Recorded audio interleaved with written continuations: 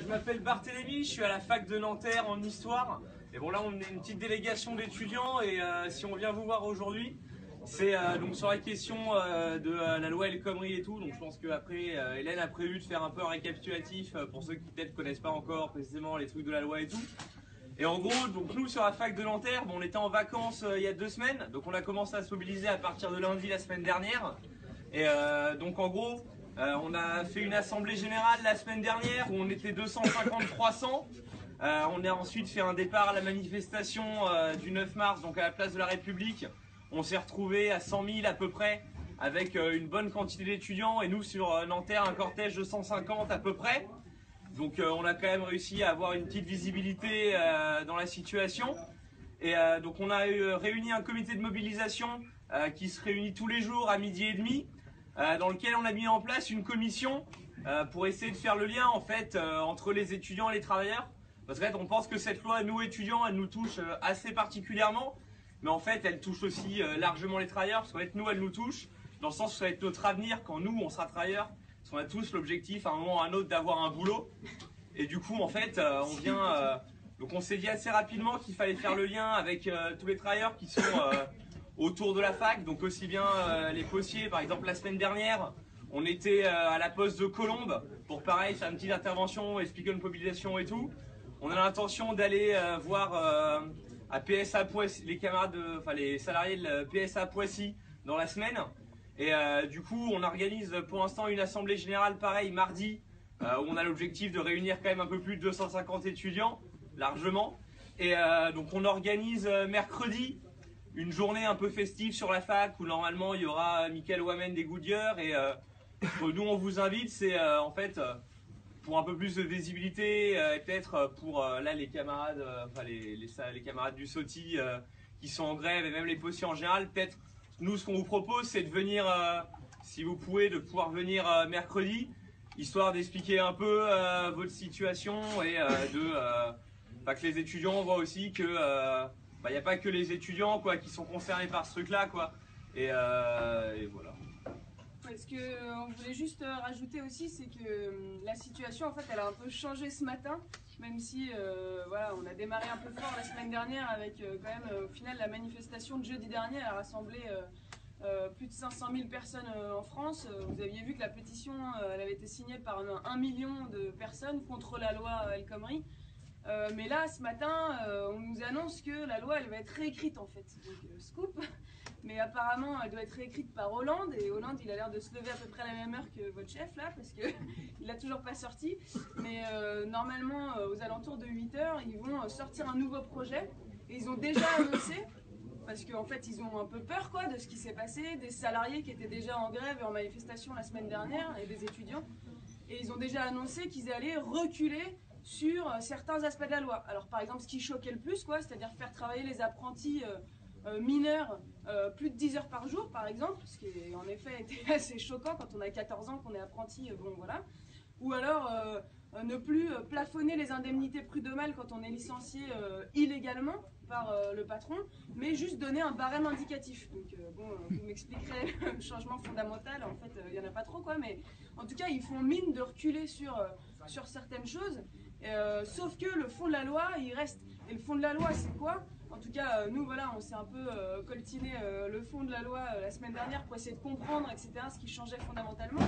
Et leur grande idée derrière cette loi, qui quand même est dramatique pour le monde du travail et nous bientôt, c'est que au nom de l'emploi, on va pouvoir licencier plus facilement. Leur grand truc, c'est plus on pourra licencier facilement, et plus les patrons, en fait, ils embaucheront. Ce qui, euh, pour tout un chacun là, est complètement inexplicable, en fait. C'est totalement illogique, vu qu'en fait, tout ce qu'on sait, enfin, ce qu'on sait, c'est que euh, plus euh, on facilite les licenciements, et plus, en fait, le taux de chômage, il augmente, et on sait que chez les jeunes, il est particulièrement élevé en France. Donc, c'est ça le, le gros aspect de la loi qu'il faut absolument combattre. Et, et, pour ça, euh, voilà, c'est pas les modifications de ce matin qui changeront euh, quoi que ce soit au fond de la loi, quoi. Donc euh, nous, on, voilà, on vous invite mercredi pour ceux qui peuvent, etc., à venir à ce barbecue qu'on essaie d'organiser à la fac de Nanterre, mais surtout aussi au 17. euh, là, les, assemblées générales qu'il y a eu dans toutes les facs en France d'étudiants euh, elles ont appelé à ce qu'on continue la mobilisation le 17, donc euh, ce jeudi là, et ensuite le 24, et ensuite le 31, ce qui était déjà une date posée par certaines confédérations syndicales, etc. Et donc voilà, en fonction, je sais qu'apparemment à, la poste, chez les postiers, il y a une date le 23. Donc en fonction de chacun, le tout c'est de, voilà, de se coordonner et d'essayer d'être le plus nombreux ensemble dans la rue ou dans la grève pour euh, voilà, réussir à faire reculer le gouvernement et pas seulement qu'ils nous réécrivent euh, leur copie là, mais euh, qui retirent intégralement cette loi qui nous fait juste retourner au 19e siècle en termes de conditions de travail. Donc voilà, il y a un moment, c'est plus acceptable.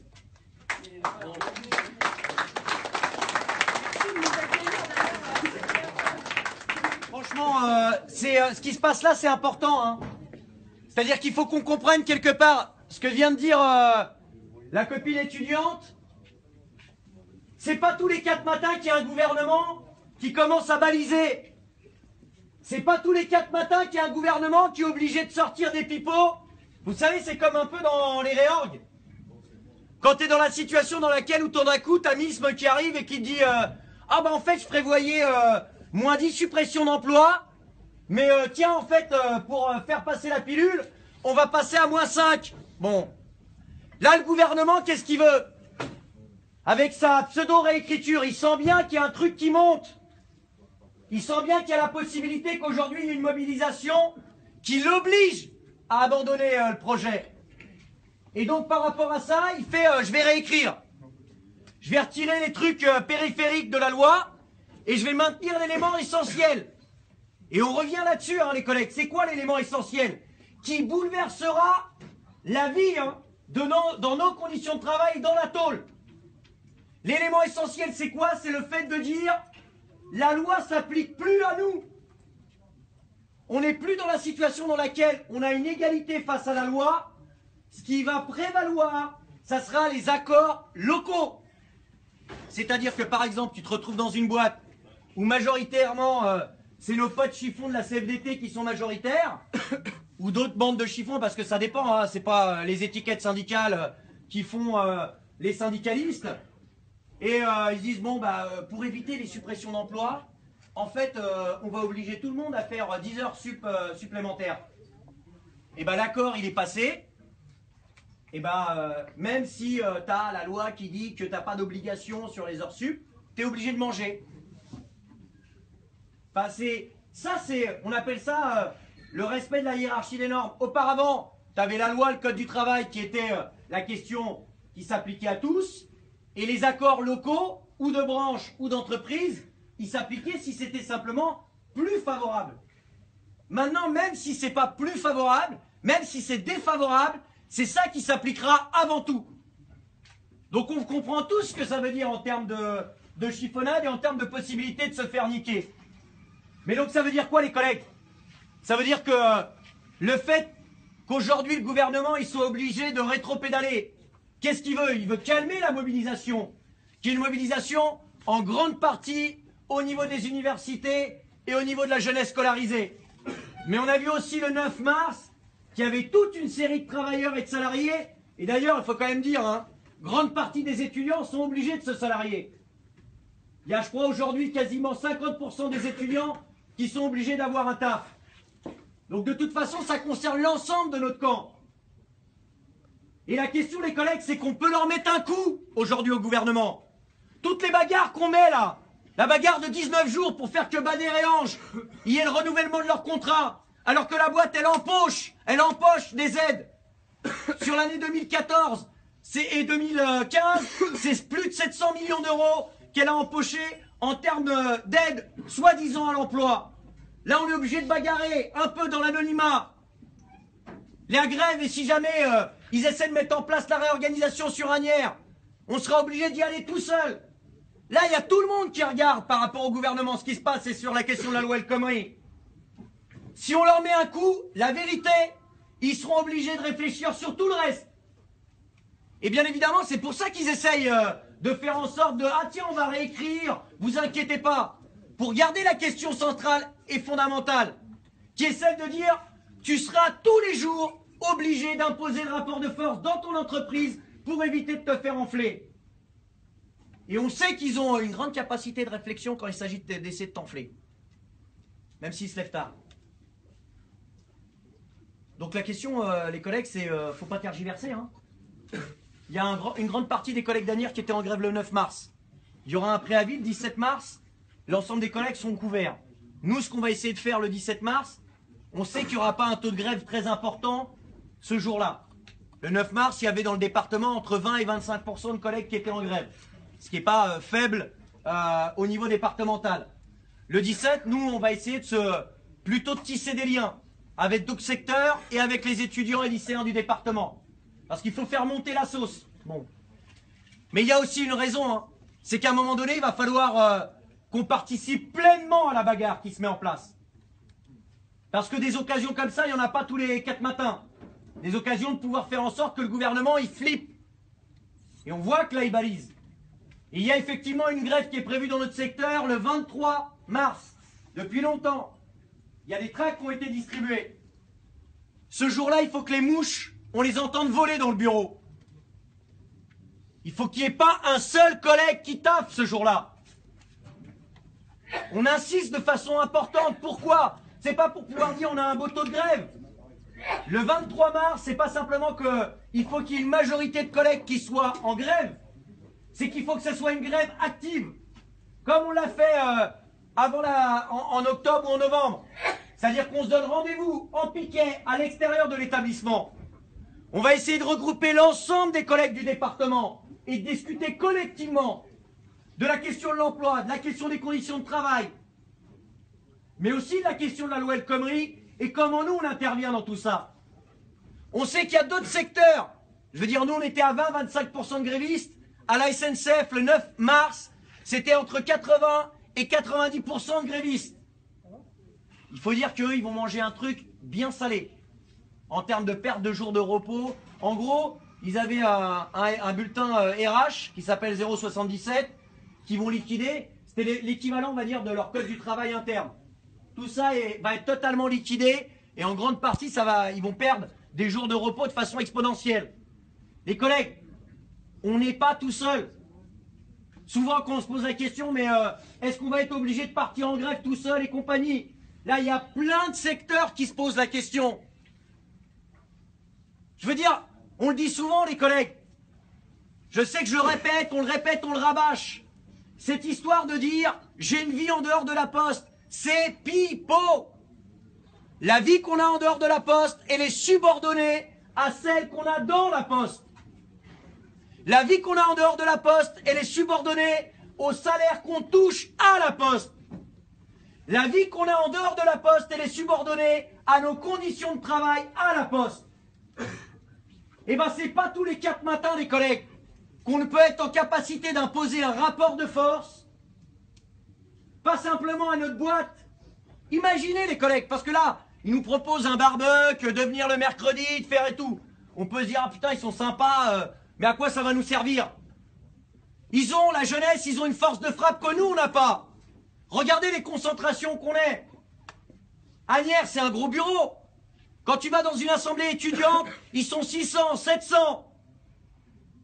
Quand tu as 600, 700 étudiants qui font la jonction avec des salariés ou des salariés qui font la jonction avec des étudiants, c'est une force qui est imparable. Lors du moment des retraites, où tu as des étudiants qui sont venus de la fac de Nanterre, occuper le centre de tri de Nanterre. J'aime mieux vous dire que tous les chefs. Là, ces matins-là, ils ils se levaient très tôt et ils balisaient. On nous fait croire tout le temps, sans cesse, qu'on n'a pas de pouvoir. Mais en réalité, c'est dans ces moments-là qu'on se convainc nous-mêmes que sans nous, il n'y a rien qui fonctionne. Là, on a une certaine occasion. Qu'est-ce qu'on pourrait nous défendre, se battre à ce moment-là?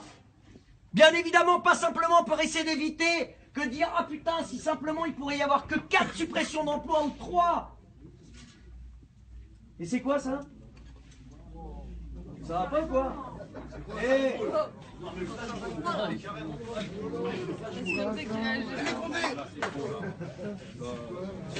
Et dehors la police là, c'est quoi cette histoire là Vous faites quoi dans le centre là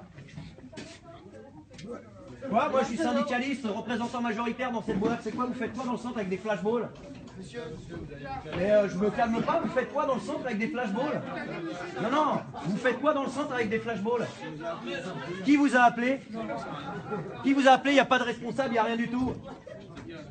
Il n'y a pas de responsable et vous faites quoi là à rentrer avec des flashballs ici de façon agressive Bah je sais pas, moi je Ah oui, euh, dans un lieu Arrivé armé. Ah oui, euh, bonjour. Non, non, non. Non, non, mais vous pouvez faire ce que vous voulez avec moi. C'est quoi cette histoire là On est en prise de parole, qui est un droit syndical. Qui c'est qui est agressif là, monsieur Qui c'est qui quoi Qui c'est qui est agressif là Bah vous, en venant et en rentrant avec, Avec des gants, vous mettez les gants, Ouais. vous mettez, vous avez les armes, le flashball. Bah oui, désolé, ça c'est agressif. Eh les collègues On se rapproche là, c'est quoi cette histoire? Il est où notre patron? Il est où le taulier là? Protégé peut-être? Bah oui, bah justement, on se renseigne. Qu'est-ce qui se passe? Il y a des préavis de grève qui existent. Non, non. Un appel. De qui? Voilà. Mais ça a bougé. Ah, ça c'est Monsieur Boucher là. Ah bah ouais, Qui c'est qui a passé l'appel là? Bien sûr, c'est lui. Bien sûr, c'est lui. Bien sûr, c'est lui. Écoutez. Imaginez que sur un bureau aujourd'hui, nous avons quand même un tiers de personnes qui sont des personnes sous contrat. Il y a, il y a peu de travailleurs. Les conditions de travail, Ils n'ont plus d'obligation. non, non, mais attendez. Nous on fait des prises de parole dans tous les centres, tous les matins. On n'a pas la police qui rentre dans les centres avec un flashball, excusez-nous. Vous savez, si on est là, monsieur, c'est que vous. Voilà. Bah écoutez, euh, si on vous appelle- nous quand on vous appelle, on n'est pas aussi vite, hein, je peux vous l'assurer. Il n'y a pas de prise d'otage, il n'y a rien là. C'est vrai. Écoutez, tout se passe bien. Bien, on va bien voir ce qui se passe.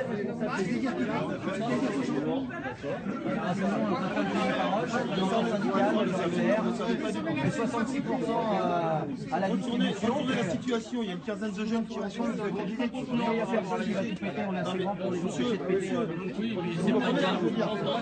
Nous, on a un message, Et qui c'est qui a appelé la police là? Et les collègues, il y a un préavis de grève de toute façon qui couvre si jamais il y a besoin. hein. Écoutez, nous on va faire une autre prise de parole tranquillement, c'est ce qu'on était en train de faire, mais on vous demanderait de quitter l'établissement s'il vous plaît. Voilà. Il n'y a pas de responsable ici en fait, c'est des chefs d'équipe. Appelé une quinzaine d'individus. C'est l'appel qu'on a. Pour justifier le travail. C'est pour justifier le là, il vous a dit, c'est. Il vous a dit, pour. Ça. Aurait été le cas contraire. Ouais, mais ça aurait été le cas contraire.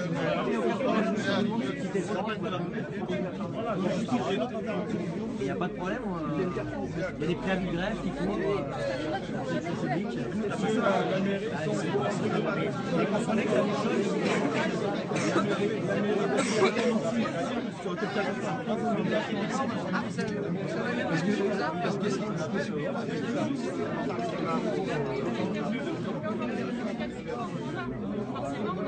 Non mais d'accord, mais vous comprenez qu'on vous utilise, on vous utilise d'une certaine façon pour exercer une pression. Attendez, on va, on va pas attendre. Nous, on se met en grève des briques, si vous ne partez pas, c'est comme ça. Hein, je veux dire, nous, on va pas laisser permettre que la police vienne exercer une pression sur les représentants. Je suis extrêmement calme. Je suis extrêmement calme, je suis extrêmement ferme. On est... Je, vous ne dites ni par qui, ni comment, ni pourquoi. Vous ne dites ni par qui, ni comment, pourquoi. Le chef de centre n'est pas présent. Mais vous n'avez pas de compte à nous rendre. Mais sauf que moi, il y a un préavis de grève qui est déposé. On est encore dans une espèce de démocratie. Donc on a encore le droit de pouvoir s'exprimer dans les centres sans, sans la pression des, euh, de, de la police avec des flashballs. Qui vous a empêché de vous exprimer Non mais attendez. C'est hallucinant.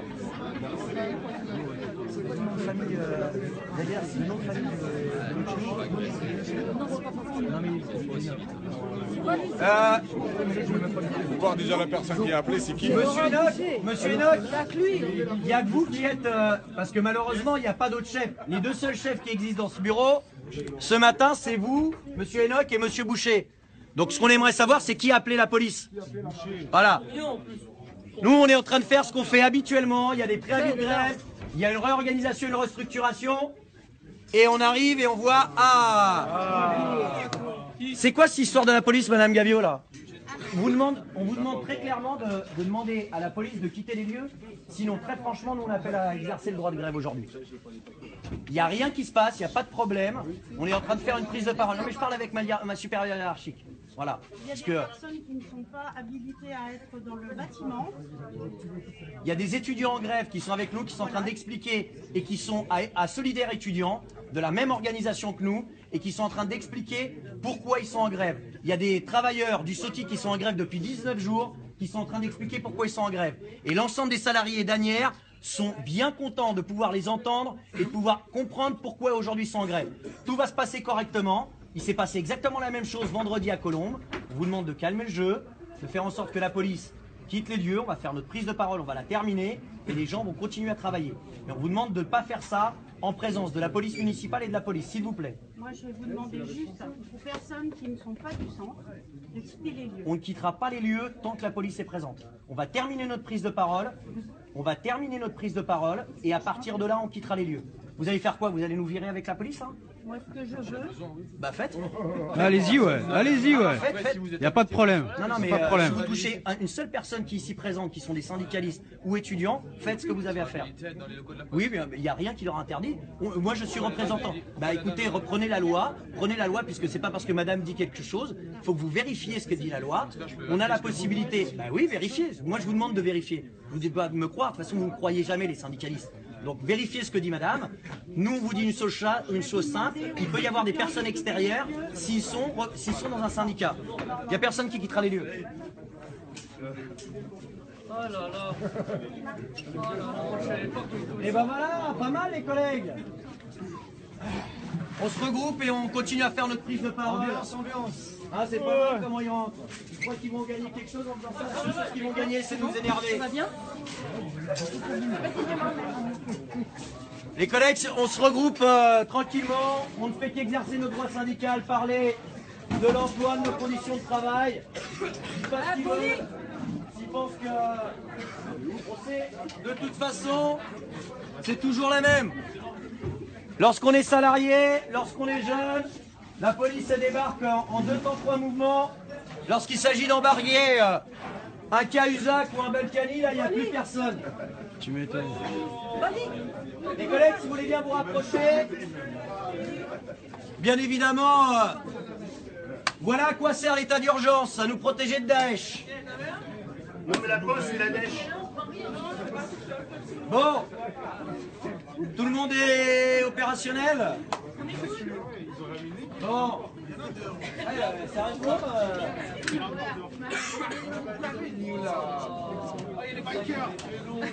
Ah, ça y est, maintenant il y a les vélos. Mais attends, ça va être, ça va être la police montée. Ah, il manque plus que la police montée maintenant. eh, cela dit, ils ont, euh, au niveau casque, ils ont un casque euh, plus sympa que le nôtre. hein. Mais non, on l'a toujours pas. Ouais, mais t'inquiète, ils vont le ramener. Bon, les collègues, les collègues, sur quoi, on, euh, enfin, sur ce qu'on disait et sur y compris la crainte euh, qu'ont euh, nos chers représentants de, de l'ordre et du gouvernement. C'est-à-dire que là, on est en train de faire, alors qu'on est une organisation syndicale, pas dire majoritaire, ultra majoritaire, je pense que sur le centre, on doit être aux alentours des 80% aux élections professionnelles. Aujourd'hui, vous voyez,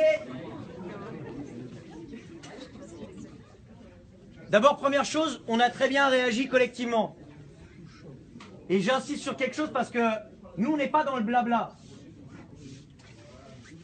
C'est-à-dire là, il y a effectivement des étudiants syndicalistes qui sont en grève, qui sont venus informer de la situation, euh, qui sont venus informer de la situation sur l'université. Ça s'est déjà fait et c'est tout à fait normal d'informer lorsqu'il y a différents secteurs qui sont en grève. Demain, il y aura peut-être des profs. Après-demain, il y aura peut-être des cheminots. Voilà, quand il y a des salariés qui luttent, le minimum, c'est de rester ouvert. Qu'est-ce qu'on a dit euh, à la police? Bon, qui à mon avis a été peu prudente pour employer un terme tout à fait euh, euh, mesuré. qui a été peu, prudente de ne pas vérifier un peu ses sources avant de rentrer avec flashball hein, au point à l'intérieur du centre. Qu'il y avait des, des individus récalcitrants à l'intérieur du centre et qui pouvaient tout casser. Alors je dois vous avouer que si on attendait les forces de l'ordre pour éviter qu'on casse tout dans ce centre, on serait bien emmerdé. Parce qu'à chaque fois qu'il a fallu agir, soit pour des problèmes à l'intérieur du centre, dans lequel par ailleurs ils pourront regarder, ça fait euh, des années qu'on demande que le carré trop qui est là-bas, il soit un minimum euh, refermé pour éviter un certain nombre d'incivilités.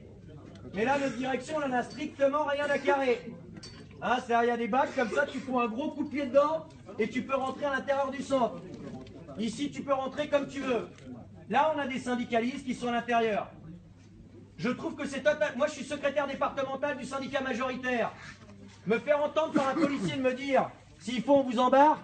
Mais embarquez-nous Vous embarquez toujours les mêmes, messieurs. Tout le temps, vous embarquez les mêmes. Vous embarquez toujours les mêmes. Vous embarquez. Non, on parle pas tout seul. On parle avec l'ensemble des collègues. Mais on parle à vous. Et avec l'ensemble des, des, des, agents. Faut que vous compreniez, vous êtes des salariés comme les autres. Voilà, mais c'est peu importe. Nous, on vous écoute. Et ça va être entendu par plusieurs centaines de salariés dans cette entreprise. On vous demande une seule chose, c'est que vous quittiez les lieux. La police, elle n'a rien à faire dans les lieux de travail. On défend notre pain, on défend nos salaires, on défend nos emplois, on défend notre jeunesse. Vous n'avez rien à faire dans les centres. Rien à faire dans les centres. À ceux qui veulent supprimer les emplois, les postiers répondent Résistance. Ils répondent quoi? Résistance. On n'entend pas. Résistance. Encore une fois. Résistance. À ceux qui veulent supprimer les emplois, les postiers répondent Résistance. Ils répondent quoi? Résistance. On n'entend pas Résistance À ceux qui veulent supprimer les emplois, les postiers répondent Résistance. Ils répondent quoi Résistance On n'entend pas Résistance Encore une fois Résistance On n'entend pas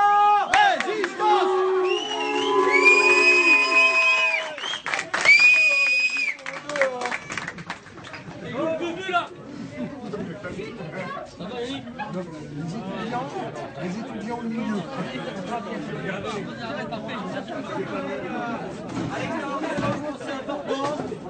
Voilà, qu'il leur arrive euh, que dalle, qu'ils comprennent que justement la jonction salarié-étudiant, ça peut leur faire très mal.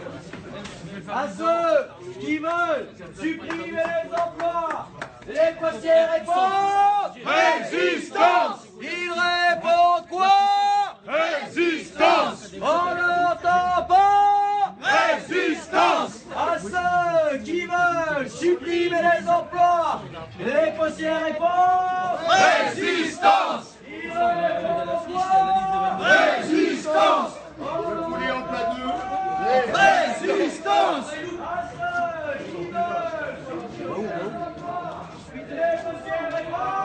Résistance.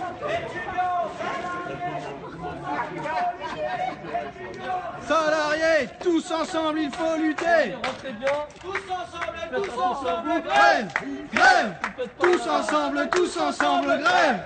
Grève Tous ensemble, tous ensemble, grève Grève Bon, apparemment, il n'y a personne. hein. Et le poulet en plat de résistance. Olivier, la chambre le matin, comme ça, en début de semaine. Mais t'es pas réveillé, Tu m'éclates la tête